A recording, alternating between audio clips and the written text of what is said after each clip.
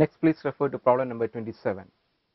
In this problem a sphere of radius r of mass m1 moving with velocity v collides with another sphere which is at rest has radius having radius r by 2 of mass m, m2.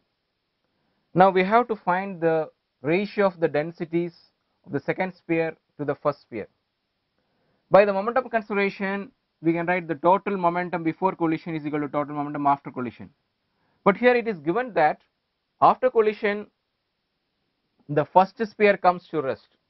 So the final velocity of the first sphere is 0 and the initial velocity of the first sphere is v, initial velocity of the second sphere is 0 and writing all these things in the momentum consideration you will get m1 into v is equal to m2 the final velocity is has to be the same v. That means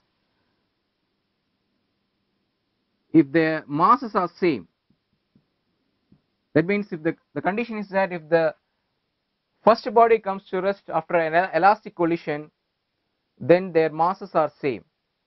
Mass is density into volume. This is a sphere so the volume is 4 by 3 pi r cube.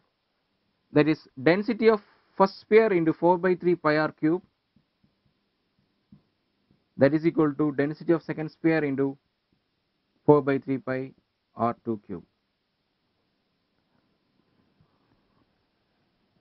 But it is given that r2 is equal to r1 by 2. So you write r2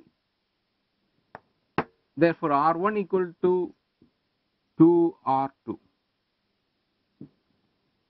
So that putting in this equation 4 by 3 pi cut on both sides rho 1 into r1 cube that is 2 r2 the whole cube that is equal to rho 2 into r2 cube. That is